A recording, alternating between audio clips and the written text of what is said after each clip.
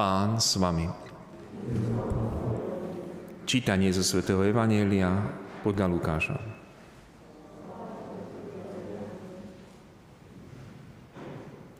Ježiš v nazareckej synagóge začal hovoriť. Dnes sa splnilo toto písmo, ktoré ste práve počuli. Všetci mu prisviečali a divili sa milým slovám, čo vychádzali z jeho úst. A hovorili, Vary to nie je Jozefov syn? On im vravel, ak iste mi pripomeniete príslovie lekár, lieč sám seba.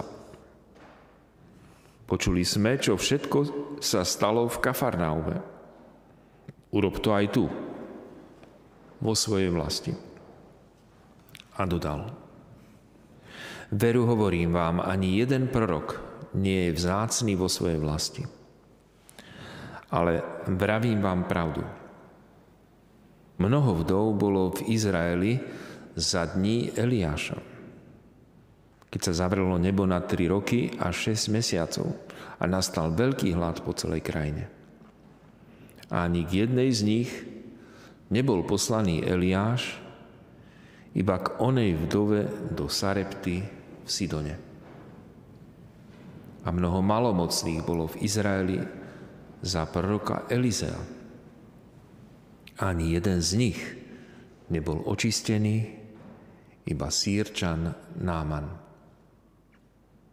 Keď to počuli, všetkých v synagóge zachvátil hnev.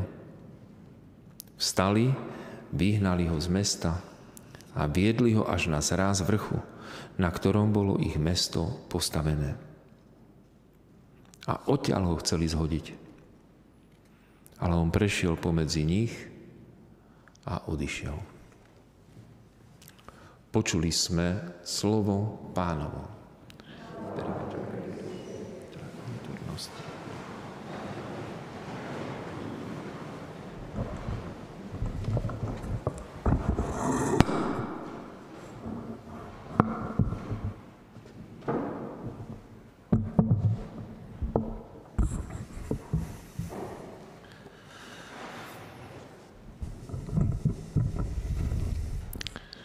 Tomu týždeň, čo sme slávili nedelu zasvetenú Božiemu slovu, bola to nedela Božieho slova, a zamýšľali sme sa nad tým, aký význam má to Božie slovo zapísané v knihách Biblie, ale nielen zapísané, pretože to Božie slovo najskôr bolo hlásané, až potom časť z toho bola zapísaná do knihy svätého písma. Aký význam má teda to slovo, to Božie slovo, to Božie posolstvo pre nás? A tam sa už vlastne začal aj ten príbeh v synagóge nazareckej, keď sa tam hovorilo minulý týždeň, že Ježiš prišiel do Nazareta, kde vyrástol a podľa svojho zvyku vošiel do synagógy, čo bol v podstate normálne bežný, teda u Židov bežný kostol, kam chodili každú sobotu. Vošiel v sobotu do synagógy, vstal a vyčítal. Teda niečo podobné ako aj u nás, lepšie povedané, u nás je to podľa nich, nie, on, nie oni od nás sa to naučili, od kresťanov, ale kresťania sme sa to od nich naučili, že tak ako u nás niekto príde, prečíta to Božie slovo a potom to Božie slovo sa vysvetľuje. Takže takto isto aj Ježiš uh, vošiel v sobotu do synagógy a vstal, aby čítal. Podali mu knihu proroka Izajáša, on ju rozvinul, teda musíme povedať, že to nebola kniha taká ako toto, že sa tam listuje, ale že to boli také valčeky, také, také zvitky a tam bol, celá tá kniha tam bola navinutá, ako koberec, keď zvinieme. A tak sa z nej čítalo. Takže Ježiš ju rozvinul, tú knihu proroka Izajáša a čítal. Duch pána je nado mnou, lebo ma pomazal. A tak ďalej prečítal celú stať Ale dôležité bolo, a v tom je to Božie slovo výnimočné medzi akýmkoľvek iným slovom, že knihu zvinul, oči všetkých synagógy sa upreli na neho a on začal hovoriť. Dnes sa splnilo toto písmo, ktoré ste práve počuli. Teda je to slovo, ktoré už nie je staré, prorok Izaiáš storočia predtým. To nie je nejaké staré slovo. Keby sme si kúpili noviny v nejakom novinovom stánku a potom ich 3 dní necháme ležať niekde doma na stolíku a niekomu by sme ponúkli, že prečítaj si, tak povie, že to už sú staré. 3 dní, že to už sú staré. Že to už, čítať, to už nemá zmysel čítať. Božie slovo, ktoré je stále staré tisíce rokov, teda Sveté písmo, Tie najnovšie knihy sú spred, tisíc, eh, spred 2000 rokov, teda z obdobia Apoštolu, a tie najstaršie ešte o, o stovky a tisícky rokov ešte staršie. A napriek tomu stále sa stáva to, čo sa stalo Ježišovi. Otvoríme, prečítame a povieme si, dnes sa splnili slova tohoto písma, ktoré sme práve počuli. Teda je stále aktuálne, čo je veľmi zvláštne, Biblia sa stále už tisícky rokov e, znovu a znovu mm, opisuje, prepisuje, tlačí, dokonca dnes už aj nahráva e, na, ako audio kniha a stále je čerstva. Stále je to slovo aktuálne, teda nezostárne. My v dnešnej dobe pomaličky si zvykáme, že slovo stráca na hodnote. Nastáva inflácia. A nielen inflácia peňazí, že peniaze strácajú na hodnote, ale ešte väčšia, o mnoho väčšia inflácia ako peniaze je inflácia slova. Lebo sa na nás chrlí dennodenne množstvo slov a mimoriadne sa to chrlí na nás z reklamy, čokoľvek chcete si pozrieť, či už v mobile, v televízore, kdekoľvek na internete, tak v prvom rade sa musíte prekúsnuť cez tým, že furt stále na vás niekto tam chrlí množstvo, množstvo reklamy, až nám to lezie na nervy a už si zvykáme, že to nemá žiadnu cenu. Že slovo nemá žiadnu cenu. Že z tisíc povedaných slov v tej reklame, keď dve majú slova z toho nejakú hodnotu, tak už to je moc. A tak si nakoniec potom zvykneme, že kdokoľvek, čokoľvek hovorí, že to nemá cenu, že to nemá zmysel, že to, že to jedným uchom dnu, druhým von, že takto si už máme zvyknúť, že, že slová sú úplne odpad. Že tak ako keď chodíme do obchodu a nakupujeme, tak polovička toho nákupu, čo sme dneska urobili, tak zajtra už sa stane odpadom. Takto sa dneska hospodári, že, že vyrábame stále odpad. Stále. A niektoré veci ešte skôr, ako ich kúpime, už sa stanú odpadom. A hlavne slovo. Už mnohí, tí, čo tú reklamu vyrábajú, už vedia, že tí ľudia to ani počúvať nebudú, to budú vždycky vypínať a niekedy sa to vypnúť nedá. A že to slovo, ktoré produkujeme, že to je odpad. A potom pomaličky postupne si zvykneme, že akékoľvek ľudské slovo nemá hodnotu. Že keď nám aj niekto niečo slúbi, alebo keď nám niekto niečo povie, alebo keď nás niekto o niečom informuje, tak to berieme tak s takou rezervou, že no, veď vieme, ako je to so slovami. Že nemajú hodnotu. A pritom medzi tým sa stráca, potom v tom odpade sa potom môže stratiť aj niečo cenné. Neviem, či sa vám už niekedy stalo, nejakú náušnicu alebo prsteň alebo niečo cenné a zrazu v množstve odpadkov ste to museli hľadať, kam som to stratil. A že presne takto aj to Božie slovo je tá cenná perla, ktorá často je za, zasypaná množstvom odpadkov, slov, ktoré sú bezcenné. A potom aj ľudia, aj to slovo, aj to Božie slovo začínajú brať, ako keby to bola hociaká iná reklama alebo hociaké iné bezcenné slovo. To znamená jedným uchom dnu a druhým von. Prídeme do kostola, vypočujeme si, niekedy aj povieme, že no, zaujímavé to bolo, alebo pekne to povedali a tak. A druhým uchom von a už ani stopa potom. Teda, že Božie slovo sa stáva tým, čo sme aj dnes počuli v dnešnom evaneliu.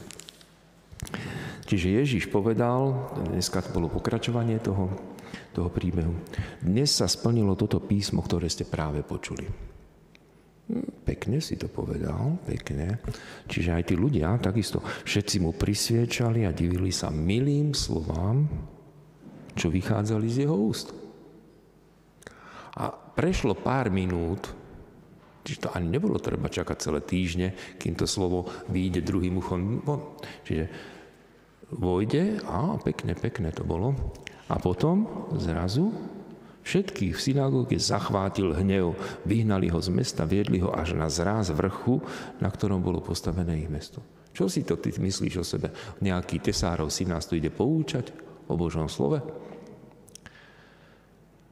Teda zrazu tá perla toho Božieho slova síce bola vypočutá, no pekne, pekne to hovorili, ale takto isto to často robíme aj my.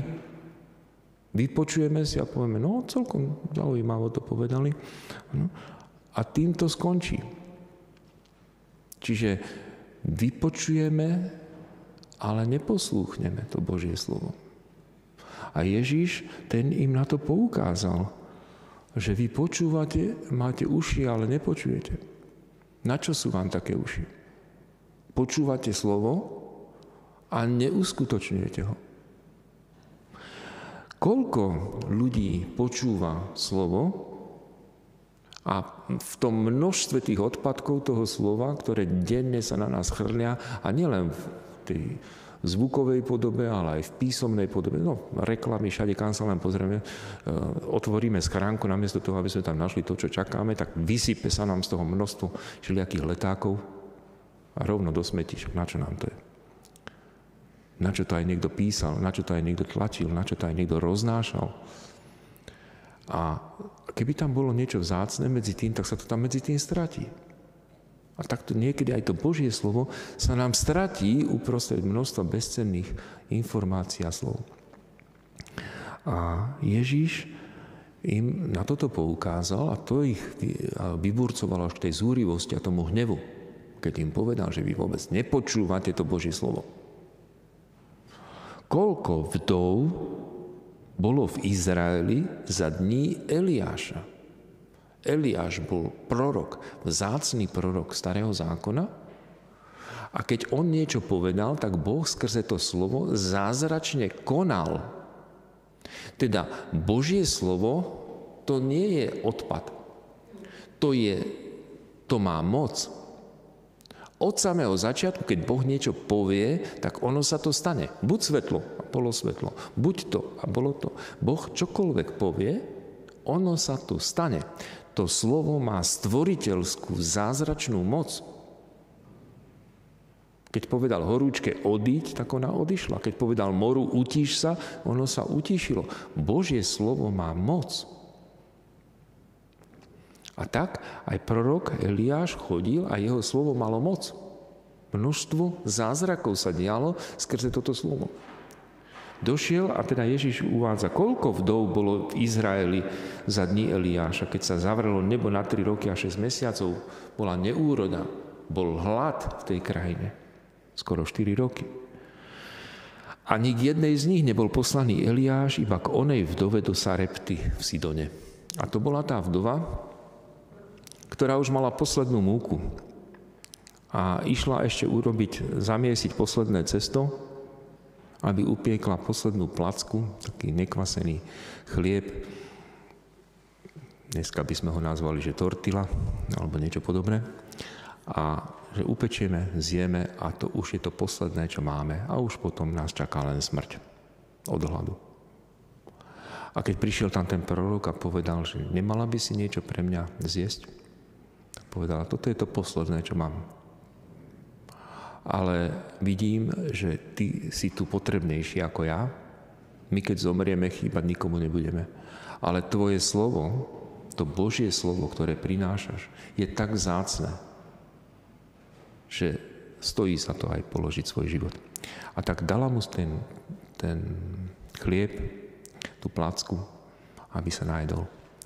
A on, a tu je vidíme, že keď niekto počúvne Božie slovo, čiže nielen jedným uchom do druhý von, ale tak, že nasadí svoj život, lebo ona nasadila svoj život a povedala, že na tvoje slovo, nech sa páči, tu máš. Keď niekto nasadí svoj život, to znamená, že poslúchne to slovo, Boh mu to nezostane dlžný. A vtedy ten prorok jej hovorí, od tejto chvíle neubudne tej tvojej truhlici múky, v krčahu neubudne oleja až do dňa, kedy znovu bude ďalšia úroda. Teda, toto je sila toho slova, toho Božieho slova. A preto Ježiš uvádza tento príklad. Koľko bolo vdov Izraeli? Umierali od hladu. Ale iba táto jedna vdova, ktorá prijala Božie slovo, bola zachránená. A koľko malomocných bolo v Izraeli za proroka Elizea. Ten bol ďalší prorok. A ani jeden z nich nebol očistený, iba sírčan Náman, ktorý dostal malomocenstvo. A to nebol člen vyvoleného izraelského národa. To bol sírčan, pohan. A ešte navyše modrej krvi, to znamená, to bol šlachtic, to bol, to bol znešený, urodzený človek. Ale choroby sa nevy, nevyhýbajú ani bohatým, ani urodzeným. A tak dostal malomocenstvo, ktoré v tej dobe nikto nedokázal vyliečiť. A keď tam v tej Sýrii zrazu prehovorilo malé devčatko, ktoré tam mali ako zajatkyňu z Izraela, otrokyňu, a ona hovorí, že u nás v Izraeli to, takéto veci rieši Boh. My ľudia na to nemáme, ale Boh to rieši. My máme prorokov. A keď niekto má problém, tak ide za prorokom a ten mu povie Božie slovo. A tým sa to vyrieši. Nejak. A tak aj on sa rozhodol, teda idem. Nabral so sebou zlato, striebro, skrátka nabral, aby mohol zaplatiť za liečbu a išiel do Izraela. Najskôr ku kráľovi, lebo však kam pôjde, kde bude hľadať koho. A keď povedal, čo má aký problém, tak král najskôr si myslí, že to je nejaká zámienka proti nám, aby rozputali konflikt. Čo som ja, Boh, aby som ja ťa vedel uzdraviť alebo vyliečiť? Chod, tam máme proroka, ten má Božie slovo a išiel k tomu Elizeovi. A vtedy, keď Elizeus došiel, tak hovorí, počúvaj, toto urob. Tam je rieka Jordán, vojdi do tej rieky, tam sa sedemkrát okup. No tak všetko možné som si predstavoval, že ma budeš liečiť, že tu budeš nado mnou, nejak ma, neviem čo, robia liečiteľia, mm, odmagnetizovávať, alebo čo mi tu spravíš, a že ma vyliečiš, nejaké čakry moje a ty ma pošleš do tej hnusnej, špinavej, e, blatovej rieky, to my nemáme v Sýrii lepšie. Urazený už chcel odísť. Tí sluhovia mu povedali, že prosím ťa, takú cestu sem meriame. Zo Sýrie až sem. A keby ti povedal niečo ťažké, tak to budeš robiť. A on ti povie niečo také jednoduché a ty to ani len neskúsiš. A nakoniec zdal na to slovo. Splnil to slovo. Ponoril sa sedemkrát do toho Jordánu, aj keď mu to bolo proti chuti. A zrazu vyšiel odtiaľ a všetko to malomocenstvo z neho zmizlo, tá e, hnisajúca koža, všetko sa zacelilo a jak, jak malé novonarodené dieťatko, takú mal kožu. A vtedy si uvedomil, že toto je Boh, ktorého slovo je zázračné, stvoriteľské, Oplatí sa ho počúvnuť. Koľko malomocných bolo v Izraeli za proroka Elizea, ale ani jeden z nich nebol očistený, iba sírčan Náman, ktorý poslúchol Božie slovo.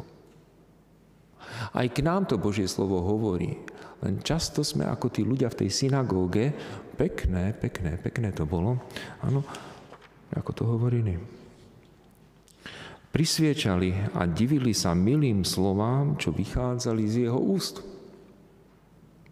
Ale keď im Ježiš povedal, že vy hovoríte pekné, pekné, ale nekonáte podľa toho, tak vtedy sa rozúrili na neho. A ešte keď im uviedol príklad, že v Izraeli len tá jedna vdova a len ten sírčan, ten cudzinec, ten počúval Božie slovo. A ľudia, ktorým to slovo bolo určené, ten vyvolený národ to ignoruje. Nemal, nemohli by sme to isté a nemohol by Ježiš to isté povedať aj kresťanom v dnešnej dobe. Že koľko majú možností E, celý ten balast vyhodiť. Ja som počúval taký podcast mm, s doktorom Jiřím Grigarom, možno niekto z vás pozná, veľký astrofyzik, teda astronóm a veľký vedec, už má 85 rokov, už veľmi starý a ešte stále chodí do práce.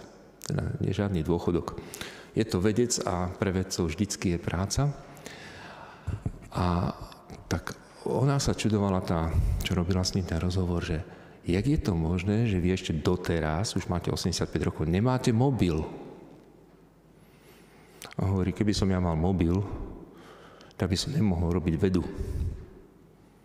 Keď ma stále niekto vyrušoval s nejakými blbosťami. Keď mi stále zvonil mobil. Ja keď na niečím rozmýšľam, a keď mi do toho zazvoní telefon, tak už si porozmýšľam, už e, sa stratím, že kde som skončil a, a čo som to vlastne chcel. Hovorí, v práci máme pevnú linku, tak tam ju zdvíhajú a doma e, tí moji majú tam mail, tak keď niečo príde, tam mi povedia, ale ja mobil nemám. Lebo my niekedy, na to, aby sme počuli to vzácne slovo, aby, aby sme našli to vzácne slovo, tak musíme ten odpad niekde hodiť, vyhodiť lebo inak sa v ňom stratíme. A takže eh, aj Boh k nám prehovára. My aj máme doma možno Bibliu, možno, že je už niekde tam hore na poličke zaprášená, že už dlho sa do nej nikto nepozrel. Niekto povie, že jo, však to je drahé, kto by, kto by dával toľko peňazí za knihu. No tak eh, ešte sa to dá spraviť aj tak, že zoberiem ten mobil, keď už ho teda máme, a asi tam tú Bibliu stiahnem zadarmo. Aj, to, aj tak sa dá čítať to Božie slovo. Čiže ako nejaká výhovorka, že ja nemám na to, alebo niečo je nezmysel a hlúposť, že normálne sa tam pripojím, dám si tam nainštalovať Bibliu a to Božie slovo budem mať.